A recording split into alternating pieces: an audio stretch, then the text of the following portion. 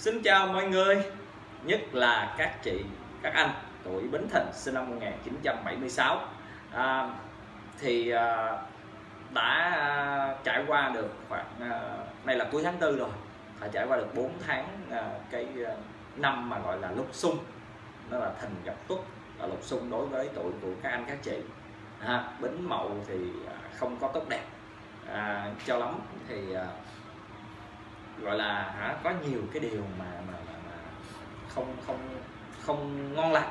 Đặc biệt là các anh nam với cái sao kế đô thì ờ, bệnh rề rề mà thậm chí là có người gặp tai nạn à, vốn dĩ của người tuổi thìn thì sống dai. Nhưng mà năm nay thì gặp à, kế đô đối với nam là không xô cũng ngã thì cẩn thận. Gặp là năm tương khắc về mệnh đó là mộc khắc thổ. Ha tạo cho các anh à, có cái nhiều cái điều mà gọi là không có tốt đẹp. À, thì à, đây là video clip em làm về vận hạn của 6 tháng còn lại của năm Mậu Tuất. Một cái năm mà có thể nói là không không có được tốt đẹp đối với người tuổi Bính Thìn nhất là nam mạng thì à, xem xem coi là à, sáu cái tháng cuối này các anh à, nó được ra sao tốt hay xấu. Thật sự mà nói thì à, người bính thìn thì vốn là những người ờ, dù nam hay nữ nữ mạng thì ờ, linh binh lang bang khó giữ được tiền tài. Tuy nhiên nam mạng thì ờ, ngược lại khá là quản giao. Thường là những người này mà làm trong đường quan vận thì rất là hanh thông và rất là dễ lên cao. Ha, khó có chuyện mà làm khó qua đâu ha ngồi khó mà dài hôm là chưa nóng chỗ là có được cất nhắc là phải trưởng cái đơn vị nào đó thì đây là một điều rất là tốt. Tuy nhiên năm nay có sao kế đô thì nó cũng lại là một cái sao không có tốt đẹp. Giống như là người ất mão của năm vừa rồi xấu nhiều thì năm nay đối với người bính thìn cũng vậy. Nhưng mà ất mão thì mạng yếu nhưng mà bính thìn thì mạng mạnh cho nên không ảnh hưởng đến mạng mà ảnh hưởng nhiều đến công việc. À, xét tiếp thì có phải nói là à, do năm nay đặc biệt tháng 3 âm lịch của à, năm là tháng bính thìn như em đã nói ở trong cái vận hạn 6 tháng đầu năm rồi thì à, nó kéo theo những điều không được tốt đẹp không được suôn sẻ lắm. Thì tiếp theo à, em sẽ làm từ tháng 7 trở đi. Và tháng 7 âm lịch của năm Mậu Tuất 2018 là bắt đầu từ vào ngày 14 10, 13 14 gì đó tháng 8 năm, năm 2018 dương lịch. Thì à, tháng 7 âm lịch của chúng ta là tháng canh thân. À, của năm nay là tháng canh thân. Mà tháng canh thân là thuộc mộc. Đúng không? Như vậy mà xét về mệnh á, là bị mộc khắc thổ bản mệnh kháng khắc bản mệnh sức khỏe bổn mạng cần cẩn trọng đề phòng tai nạn. Tại vì từ sao? Nhất là các anh nam như là cái sao kế đô rồi ha người ta nói kế đô không xô cũng ngã. À, lại gặp là cả năm là bình địa mộc không tốt với người à, đất trạch à, đất pha cát của các anh sa trung thổ của các anh. Rồi gặp là cái tháng này tháng canh thân là tháng mộc nữa nó lại chơi vô cho cậy kiên kỵ nữa. Thì đặc biệt tháng này là em cần đề phòng nhiều điều nhất là cái phần tai nạn của mình thiên can thì cái chữ bính của các anh đó, nó khắc chữ canh đó gọi là thiên can khắc tháng công việc rất dễ sinh rối rắm ha gặp chống phá. À, đơn giản là như vậy. Tại vì gặp cái cái tháng mà bản mệnh tương khắc thì bản mệnh là tháng khắc bản mệnh này thì các các cái tương quân tốt của cái à, tử vi của người bính thìn năm nay sẽ bị che lấp đi. Và bị che lấp đi và gặp thiên can à, khắc tháng này là ảnh hưởng đến công việc nữa thì chắc chắn là nó sẽ có nhiều điều rất là khó lường. Ha nhiều người đấy à tôi tuổi thìn sinh tháng tháng 7 là tháng thân là điều tốt. Nhưng không phải. Nó còn phải xét về mệnh và thiên can và cả năm nó ảnh hưởng ra sao. Ha địa chi thì rõ ràng là tốt lành đó là thân tý thìn à, là tam hợp thì thuộc nhóm tam hợp là dấu hiệu của nhiều sự may mắn không chỉ cho gia đạo mà còn cho cả công việc. Nhưng với cái tam hợp này à, không quá không thể nào mà à, bù đắp được cho cái mệnh bị bị à, tháng khắc bản mệnh. Rồi là thiên can khắc tháng cho nên là à, có thể nói là à, ở ngoài đường mình có thể là một trong cái à, những cái người mà đối phó rồi bệnh nạn nhưng mà gia đạo cũng là một điều tốt đẹp để mà làm cái chỗ dựa cho mình vượt qua. À, đặc biệt à, ha như là các anh nam cần cẩn thận à, các anh nam tuổi này á, ngoài cái chuyện tài giỏi ờ, thích làm lớn ờ, làm to ra thì đặc biệt là à, thuộc dạng là bay bướm cũng là số 1 trong các con giáp. Cho nên là à, đừng đừng để bay bướm quá mà gia đạo nó có vấn đề luôn thì à, sẽ rất là khó khăn ha. Là các anh thì em cực kỳ cẩn thận cái tháng 6 dù là tháng tam hợp với bản thân mình. Rồi tiếp theo là tháng 8 à, tháng trung thu à, tháng này thì à, được gọi là tháng tân dậu và một tháng mộc. Như vậy tiếp tục bản mệnh bị tháng khắc bản mệnh mộc khắc thổ. À, sức khỏe bổn mạng cần cẩn trọng đề phòng tai nạn. Thiên can á, chữ bính ha thì nó hợp với tân. À, gọi là bính hợp tân. À, thuộc nhóm ngũ hợp. Đây là sự hợp uy thế chủ về chữ trí. À, như vậy á, thì thiên can tháng này là tháng ngũ hợp. Ha, công việc dễ hanh thông tiền tài dễ sinh. Tuy nhiên mà gặp tháng mà một khắc thổ này thì cũng đừng có mong cầu quá lớn tại vì các tinh quân ờ, tốt cũng không có được phát huy tác dụng nhất là các tài tinh ha. Địa chi? Dậu thìn. À dậu với thìn là thuộc nhóm lục hợp mà lục hợp thì đem tới nhiều điều may mắn ở trong gia đạo. Như vậy là tháng trên là có tam hợp về gia đạo tháng dưới có lục hợp về gia đạo à, về địa chi. Thì rõ ràng là một điều tốt đẹp. Đúng không? Thiên can thì thuộc ngũ hợp chỉ có cái là mệnh bị ờ, tháng khắc bản mệnh thôi. Như vậy là tháng tháng ờ, tháng 8 tháng tân dậu tốt đẹp hơn tháng 6 nhiều. À, tháng 7 nhiều. Lý do là sao? Chúng ta có hai cái tương hợp. Một cái ngũ hợp một cái lục hợp. Mà trong khi chỉ có mệnh bị tương khắc. Cho nên là tháng ờ, tháng 8 là tháng có thể là sinh tài lộc. À, à đúng rồi tháng 8 tháng tân dậu có thể sinh tài lộc. Ha gia là ổn định có tin vui vẻ ha. Đặc biệt là các anh nam thì ờ, có gì đi nữa thì cũng phải nên nhớ cẩn thận. Nữ thì có sao thái dương thì không nói rồi ha. May mắn danh lộc nó cũng tốt nhưng mà à, có những người rơi vào những cái tháng sinh ngày sinh nó không được tốt đẹp thì vẫn chưa thấy được cái sự tốt đẹp của cái tuổi của mình. Tại vì như đã nói là người nữ của bính thìn phải vượt qua được cái năm 44 tuổi thì mới có hanh thông mới có tiền tài mới gọi là thảnh thơi đầu óc. Còn trước đó thì người này linh binh lang bang. Nha à, thật sự mà khổ chỉ có muốn đứng nhảy cầu thôi. Nhưng mà bắt đầu rồi bắt đầu thấy được ánh sáng ở cuối đường hầm rồi. Ha hy vọng là cái tháng 8 với nhiều điều tốt đẹp này à, sẽ à, giúp cho các chị có được cái sự thảnh thơi trong cái năm mà gọi là lục xung đầy khó khăn. À, tiếp theo đó là tháng 9 âm lịch tháng nhâm tuất. Người người mậu người mà bính thìn nam hay nữ mà năm nay thì để ý tháng 3 là tháng bính thìn và đặc biệt là tháng 9 là tháng nhâm tuất à, tại vì sao? Mình đã lục xung, lục xung với năm rồi là người tuổi thìn gặp năm tuất ha gặp tháng tuất luôn. Thì trong tháng tuất nó sẽ có mấy ngày tuất à thì cần cẩn thận ha. Đơn giản là như vậy. Tại sao mà nói như vậy? Tự nhiên nói là mệnh xét về mệnh đi tháng nhâm tuất là một tháng thủy đúng không? Thì mệnh là các anh là các anh các chị thổ gặp thủy là tương khắc bổn bệnh khắc tháng phòng tai nạn và bệnh nạn ha.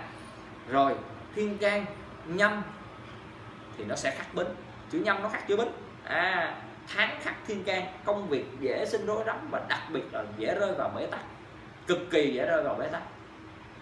À, rồi xuống dưới coi địa chi sao? Thìn gặp tuất lục xung à, lục xung là sao? Là mô tả cái sự đối chọi chống đối nhau. Có ba cái để xét coi cái tháng nó tốt hay không. Thì nó chơi luôn ba cái tương khắc thì hỏi làm sao mà nó tốt đẹp. Cái việc nó tốt đẹp là không thể rồi đúng không? À, bổn mạng tuy là thổ khắc thủy nhưng mà bổn mạng mà tương khắc nó thì nó cũng là bệnh nạn nó cũng ờ, các sao các tinh quân tốt nó cũng không được hưởng lợi. Có thể nói là thậm chí là nó còn bị che khuất đi nữa thì gặp thêm tiên gan nhâm khắc bính nữa thì hỏi sao mà công việc nó không gây ra khó khăn. À mà không tháng thì nó đã cả năm mình đã bị lục xung như đã nói ha thìn gặp tốt lục xung xuống dưới này tháng tháng tốt luôn cũng là lục xung nữa. Trong đó đặc biệt nó có mấy ngày tốt ha à, trong tháng nó có mấy ngày tốt thì, thì các anh các chị cần cẩn thận ha. Nếu là các anh các chị đặc biệt là các anh thì tháng này em uh, tránh né nhiều điều ha nhất là cái sau cái đô đối với nam mạng. Đừng nghĩ lại là mình chữ bính thình ha, mình lớn mạng mình sẽ không sợ ai, nhưng mà không phải đâu. Cái gì cũng vậy, là phúc thì không phải họa, mà đã là họa thì không thể tránh. Nó đến sớm, đến muộn, đến nặng, đến nhẹ là do bản thân các anh chị tạo phước thì mà ra. Người bính thìn nữ mạng thì em không lo, tại vì năm nay có sao thái dương không ảnh hưởng tới bạn của mình. Sao thái dương nó thuộc hành họa thì nó sẽ tốt cho người mệnh thổ và đặc biệt là những người bính thìn nữ mạng thì họ rất là tính phật. Tại vì con rồng mà canh cửa thiên đờn canh cửa chùa đồ này kia. Cho nên là vốn dĩ là người có tu có phúc. Và đặc biệt tính phật tính uh, ờ, tâm linh.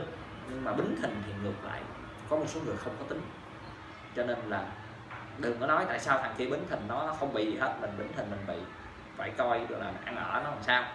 Chứ đừng có nghiệp nó tới đâu ha. Rồi đặc biệt cẩn thận giùm em. Tháng uh, nhâm tuất tháng 9 năm lực nha.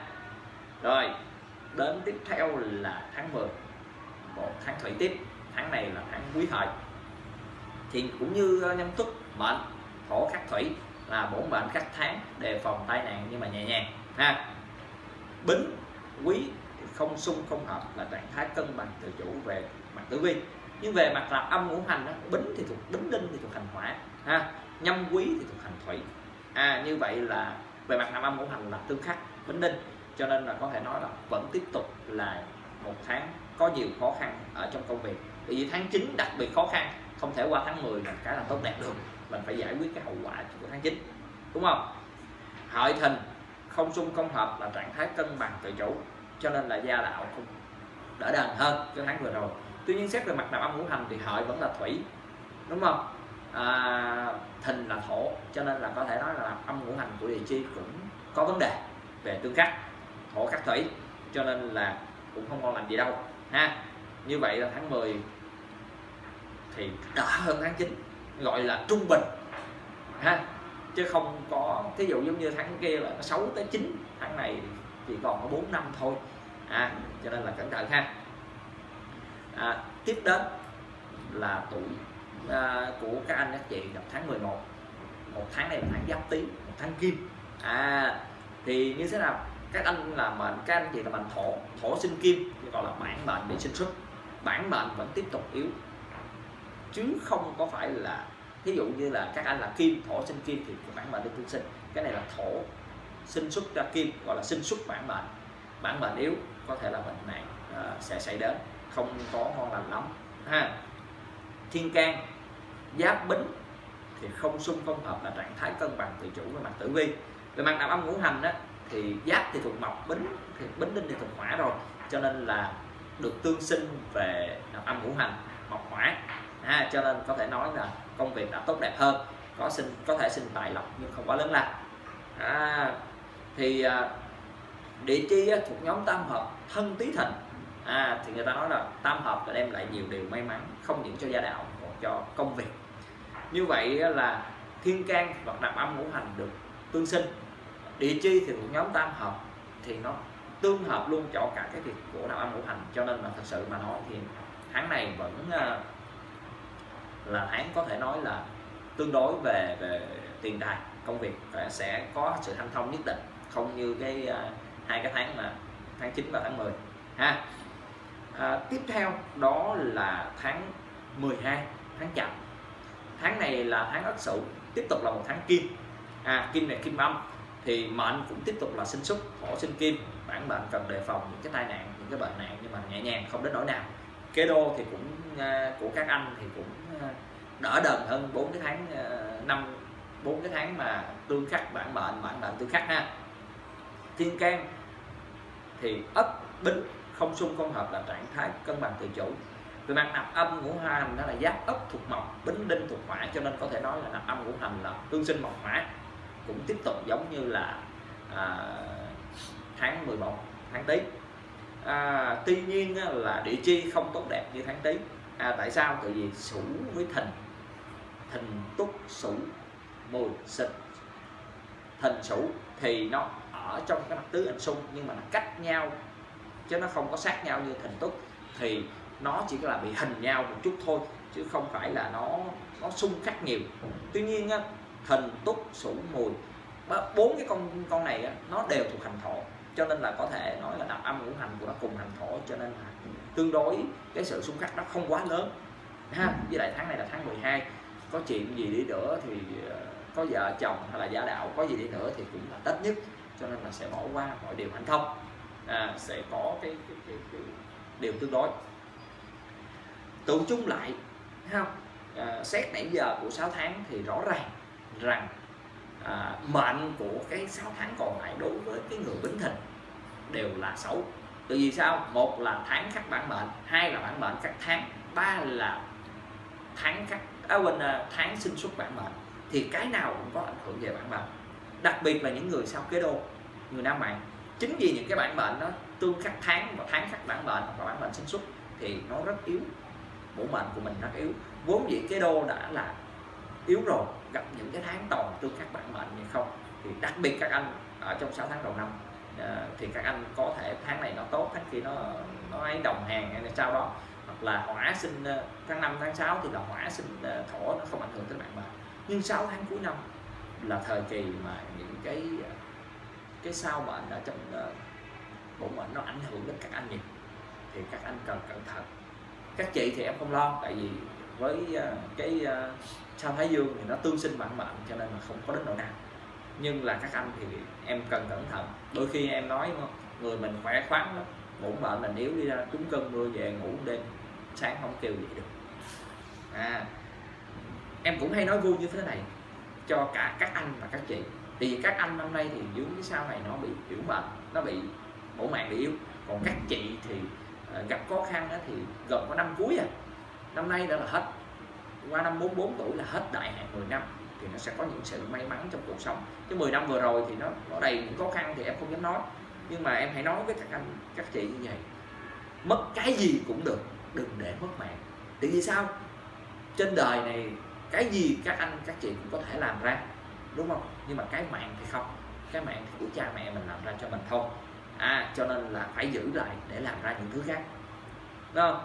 Nợ không giết mình chết chỉ có bản thân mình tự giết mình thôi. Ha? À, các các anh các chị nếu như mà thấy video về cái vận hạn 6 tháng cuối năm này hay xin nhớ bấm like và chia sẻ cho nhiều người tuổi bính thìn được biết. Ai chưa đăng ký kênh anh ba tử vi xin bấm đăng ký ở bên dưới để đón chờ tử vi cũng như là vận hạn của các tuổi khác có thể là của bạn bè anh chị em của mình à, rất vui vì mọi người đã chú ý đón xem. Hẹn gặp lại mọi người ở những video tiếp theo. Bye bye.